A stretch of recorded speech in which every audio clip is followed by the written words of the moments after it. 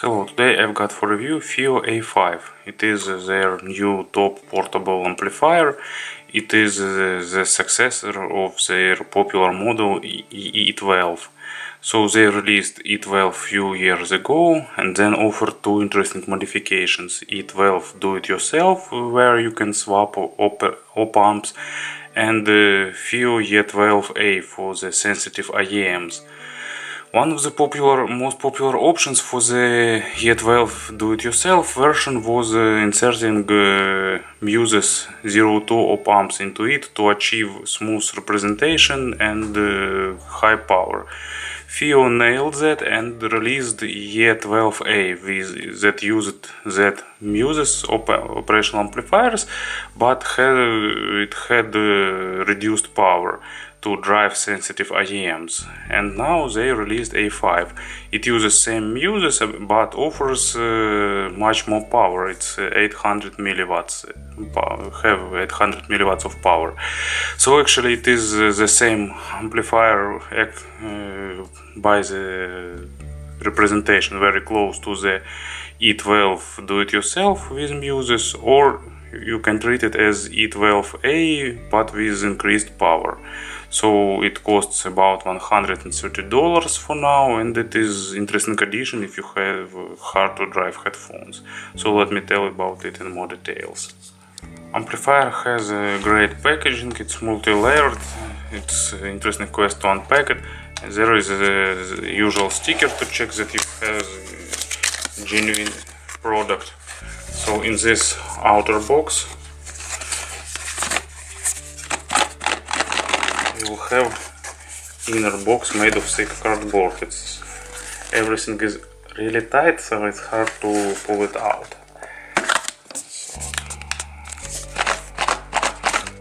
You will need to shake it squeeze it or tear it apart.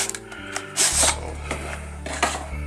be careful unpacking inside there is another box and it's also multi-layered so amplifier itself. Here you will have familiar from other models. Pouch with velcro for amplifier storage. And here on the bottom of this box you will have accessories so papers quick start manual and warranty card. Isn't that interesting? You will have this nice short interconnect. As you can see it's short and really comfortable for the portable usage of amplifier. Two silicone uh, spacers to put between your player and amplifier. And in these two sections in one you will have a USB cable for charging in the second you will have rubber rings to attach the amplifier to the to your player. So two smaller one and two bigger ones so you can make nice audiophile sandwich.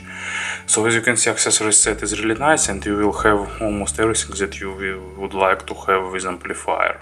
Design of amplifier is familiar from previous models of E12 it's uh, nice, efficient and very comfortable for its main usage, for use in portable uh, wearing with some uh, player.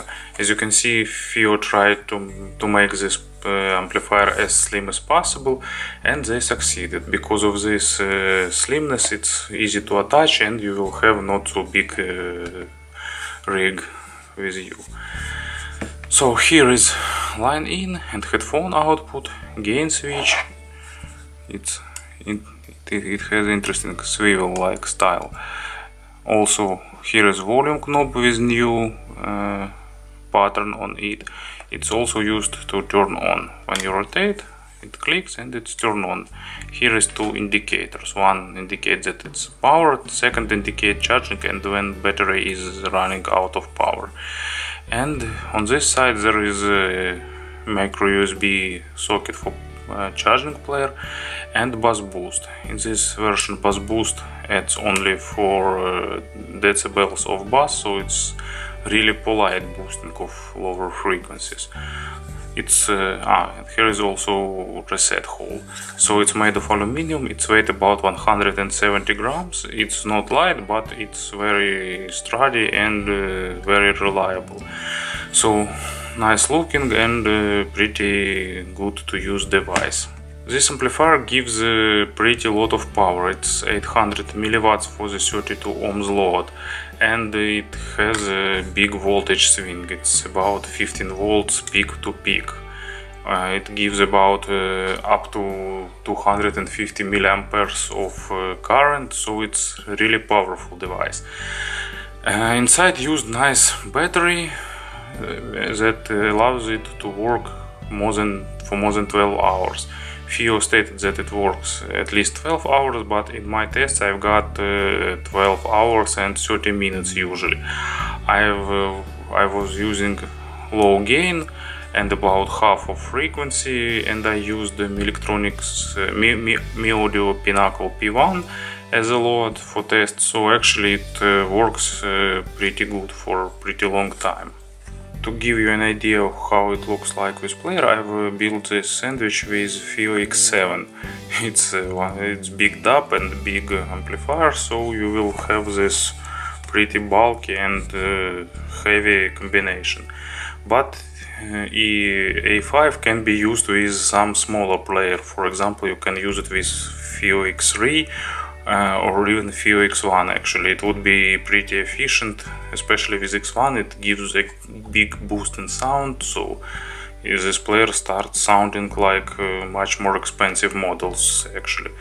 But it's if you have big uh, jacket pockets, you can use this uh, stack with some uh, hard to drive planar cans on the go while you working or running, for example but for running it would be an extra weight for training. And of course about the sound. Actually I'm not a big fan uh, putting amplifier to any portable setup. Uh, for example if you're using uh, IEMs that are pretty sensitive and uh, almost all modern players drive them really good without extra amplification. So to me main role of amplification delivering more power for the headphones that really need it. So for the planars, for high impedance dynamic models, for high impedance earbuds that are popular really now. So not with all uh, earphones and headphones you will hear the benefits of the amplifier actually it uh, they should require more power that it can give. With I've tested it with some tough uh, headphones that I have. Uh, with uh, Audio Zenith PMX2 with ZMF Omni and also with Kennerton Audio Odin.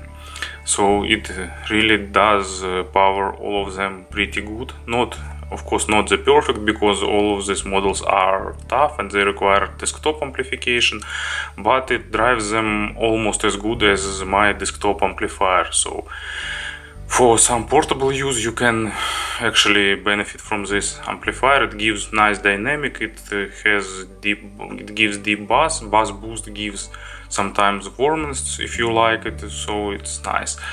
Uh, it improves dynamic it improves uh, timbre it uh, makes treble more defined, but as I've said before, not with all earphones actually. It sounds very close to E12 do-it-yourself with Muses, it's natural with hint of warmness.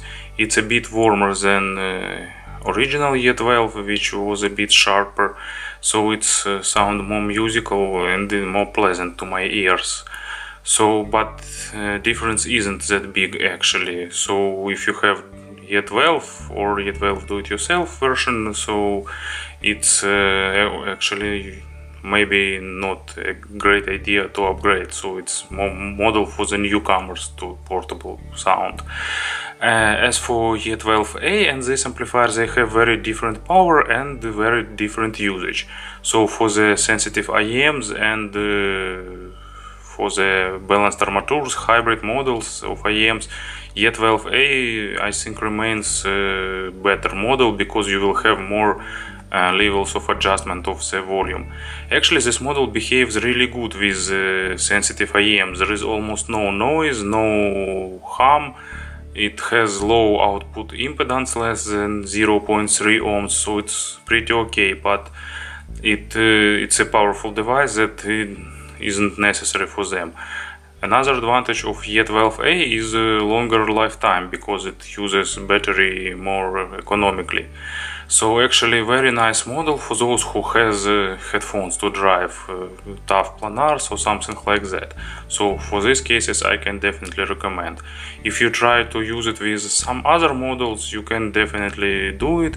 Uh, sometimes you will hear the sound improvement uh, but not in all cases. So you should decide wisely do you need amplifier or not. Thank you for attention.